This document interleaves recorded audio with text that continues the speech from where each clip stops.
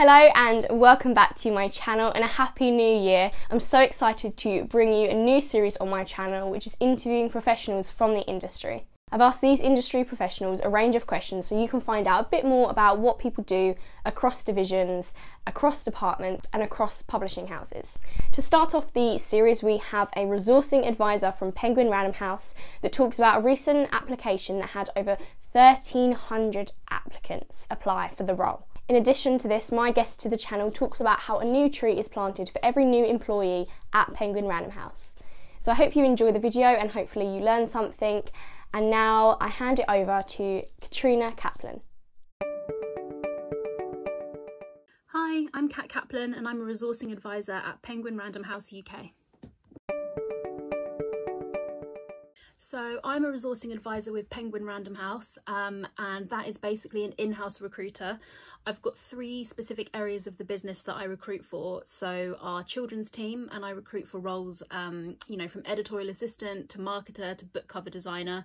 Uh, then I also recruit for our finance team who are based um, across both of our sites in London and Essex. And I recruit for our distribution team. So things like warehouse operatives, customer service, um, Amazon data analytics, and they are just based in Essex. Uh, day to day, the role varies hugely. Over the pandemic, my role has sort of evolved into something that I probably never expected it to. Um, recruitment is a really sort of people focused role and it's been a challenge to do that virtually but somehow we've managed and actually we've been working um, from home since March so it feels like the role has kind of evolved into something more than it was when we were first last in the office. Um, what do I do on a day-to-day -day basis? Uh, what don't I do, I guess would be easier to answer. Um, so I do everything from kind of writing the adverts that you see on our website to engaging with candidates who maybe haven't seen those adverts and doing more of a headhunt on platforms like LinkedIn. Um, I then work with our hiring teams to understand what it is that they really want from the role, what type of person they think would do really well, what type of background they might come from, um, do they work in another industry outside of publishing or maybe even outside of the creative industry um, with really interesting skills that we would want to see in the teams that we're building. I also attend and run a lot of our inclusive hiring initiatives. So things like the scheme, which we run every year, although sadly not in 2020.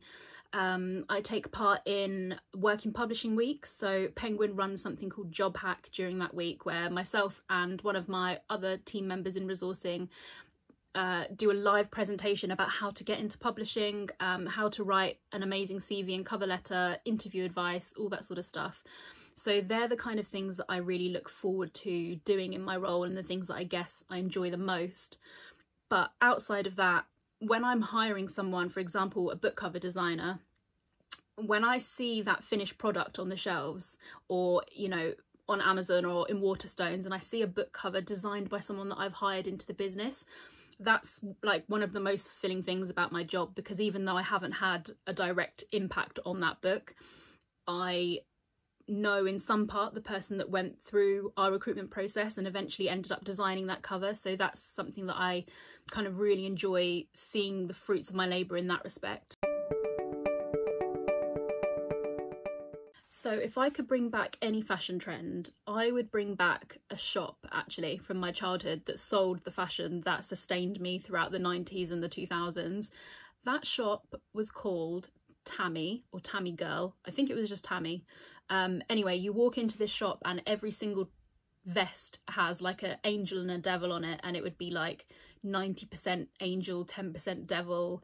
Um, they also had a lot of like things with fishnet, so fishnet arms on like shirts, um, a lot of pink, a lot of blue, um, just quite like sickly sweet clothing that I feel like is kind of having a bit of a resurgence from people who had no idea what Tammy Girl was.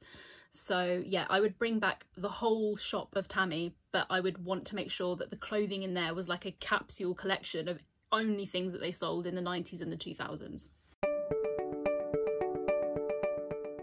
I think I have to say the team that I work with, um, it's a really great team. I know everyone says that about their teams, but the HR team at Penguin is like one that I've never known before. We're all really, really supportive of each other we all kind of go out of our way to make sure that everyone is doing okay and i think particularly at a time like this that's really important. And you know, occasionally someone will reach out that I'm not expecting to and just ask me, How are you? How's your day going? You know, what have you been up to outside of work? And that kind of communication is really important in a team. It builds those relationships, but it also just makes you feel that you're still part of one, even though we're not physically together in the office anymore. So for me, the team that I work within is definitely one of my favourite things about the job that I have.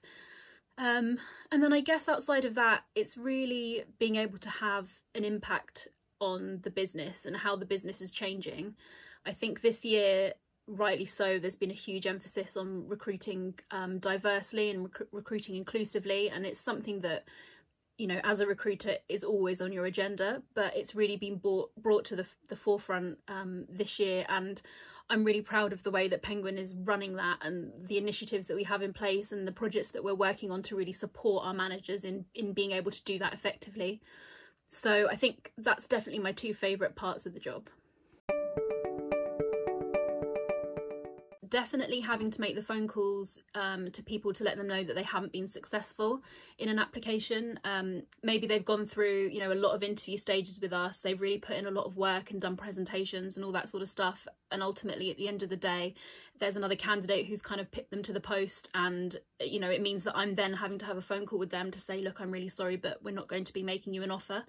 So that is really challenging. Um, but you know, as a recruiter, you're input into someone else's career can be the difference between them getting their dream job and not getting their dream job. So there's quite a lot of pressure, I guess, in that sense. So it's always going to be a challenge to have those calls. But, you know, on the flip side of that, I deal with a lot of candidates who have maybe applied for something with us previously and have been unsuccessful but then apply again for something else down the line, whether that be a similar position in a different team or maybe a completely different role altogether, and they are successful. And then I've kind of joined them on that journey that they've had, you know, from getting some negative news to start with to now celebrating because they finally secured their role in publishing. So it's always going to be challenging to be there at someone's real low point, but often it pays off down the line. Um, but you know that's recruitment. You're going through the same highs and lows as your candidate because you're just as invested as them in their career journey.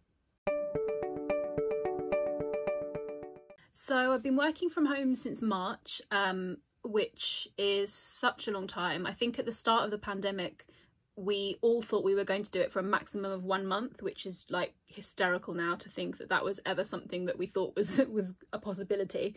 Um, but yeah, it's been since March. The highs of working from home is definitely that I can wear slippers all day if I want to.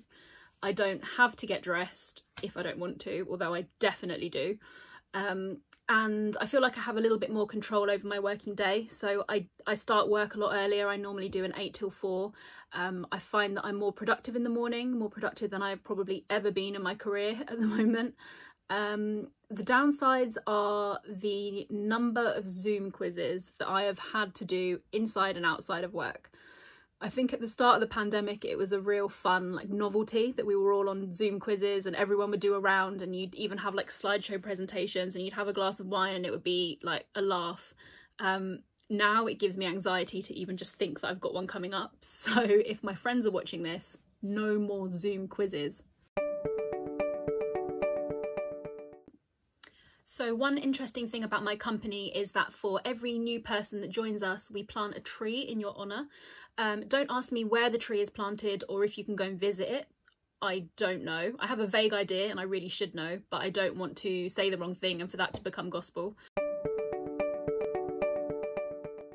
Think that recruitment is quite a transparent job, so a lot of people probably know what we do day to day. It's not so much of a mystery. Um, but I guess an insight that I can give you about being a recruiter at Penguin is um, probably to do with candidate application numbers and how many people we have applying to our roles. Uh, so pre-pandemic, for um, something like an entry-level editorial assistant role, we would have expected between maybe six and eight hundred applications for that one role.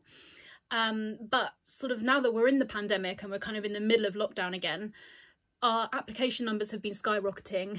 Um, so recently we had a role that had over 1300 applications and as a resourcer it's my job to read through all of the um, application details that the candidates submit. So that's your CV, your cover letter and any other supporting information um, and then put together my shortlist uh, and send that over to the hiring manager and then wait for them to come back and let me know who they'd like to take through to the interview stages. So it's a really hands-on role, probably more so than you would expect um, based on the volumes of applications that we get through. But that's kind of what makes it the role that it is and makes it so interesting because you're in a really privileged position of being able to have seen someone's career path with us from start to finish. So from the moment that they submit their application to the moment that I'm on the phone with them offering them the job. So it's really rewarding.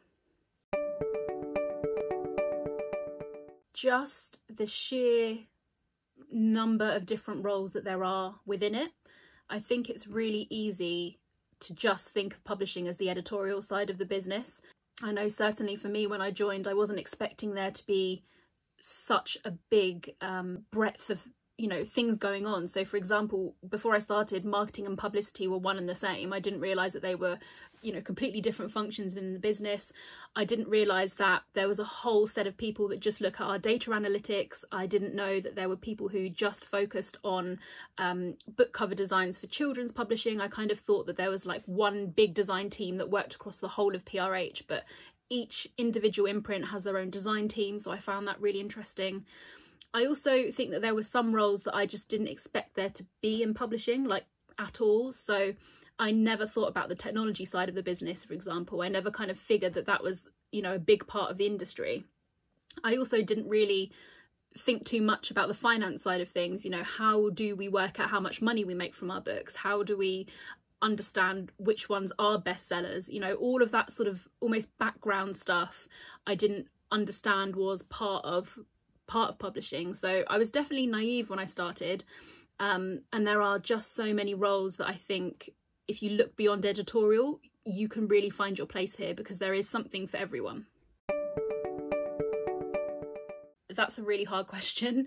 I think if I think about the books that I've read during lockdown, the standout for me is probably My Dark Vanessa by Kate Elizabeth Russell. Um, that is not a light holiday beach read. It's really dark, um, but it's gripping and it is completely fascinating. If you've read Lolita by Nabokov, um, it kind of probably makes a little bit more sense, but you could easily read it without having any kind of background knowledge on that book. Um, but yeah, that's that's definitely my number one book for 2020. I think aside from that, um, The New Me, A New Me? The New Me, um, by Halle Butler, anyway, is a brilliant read. She makes the most mundane everyday tasks interesting, and I actually consume that in a, like, I think about four hours. It was such a good read. Um, and then outside of that, I've been doing a lot of cooking mostly against my will, but I have been cooking during lockdown more than I ever would. Um, so Mob Kitchen have released a series of cookbooks. I've got the veggie one and uh, like the fast, like the speedy one. Incredible. I can't say that the results of me cooking the dishes have been you know anything to write home about but mob kitchen are great and they're also really engaging on instagram as well so I hope you found that really useful. Do let me know in the comments if you did find it useful and more of these videos will be coming soon in the new year. So do watch this space. Thank you.